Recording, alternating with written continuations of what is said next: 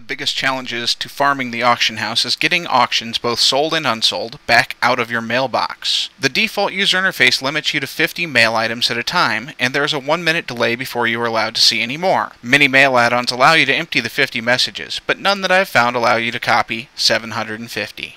By utilizing nothing more than the Blizzard UI, I've been able to modify CT Mail and Postal to overcome this limitation. To replicate exactly what I've accomplished here, you'll need to download a couple of UI mods. First, you're going to need Postal. It's the mod that I use to get the mail. You're going to need OpenRDX. I really only use one part of OpenRDX, but we'll get into that later. You're also going to need to be familiar with a text editor and comfortable mucking about inside the Lua code of Postal. Finally, you'll need to create a macro to get your mail. I'll cover all that in the next section.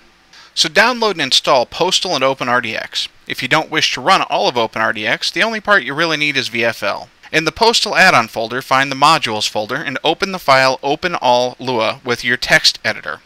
Scroll all the way to the bottom and add these lines of code. Lines 362 through 364 allow me to call the Open All function from anywhere, including the VFL ZM schedule function.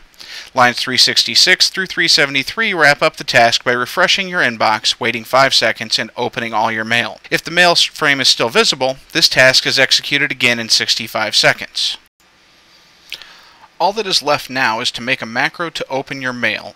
To do this, type slash macro and create a new macro. Give it a name, pick an icon for it, and then click OK. In the body of the macro, you type very simply slash run space zm open and close parentheses, and then drag that macro onto a hotbar. That's it.